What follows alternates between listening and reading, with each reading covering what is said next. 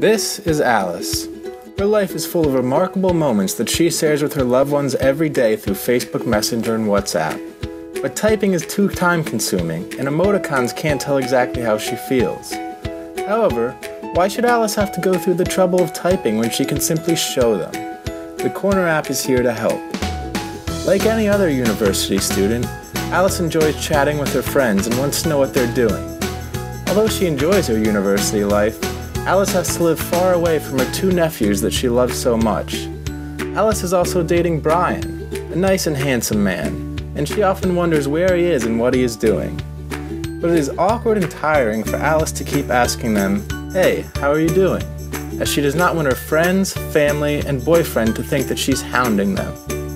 Thankfully, with Corner's help, sharing moments is now just a knock knock away. All Alice needs to do is click on the knock knock button and her loved ones will immediately receive an update request notification. They can send a picture to Alice right away by taking a new photo with their camera or choosing from their gallery.